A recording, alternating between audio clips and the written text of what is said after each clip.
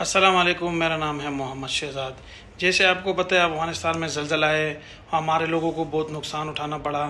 तो आप सबसे रिक्वेस्ट है कि अलखिदमत फाउंडेशन के साथ हेल्प कीजिए, क्योंकि ये आपका और हमारा ही काम आएगा। Thank you and take care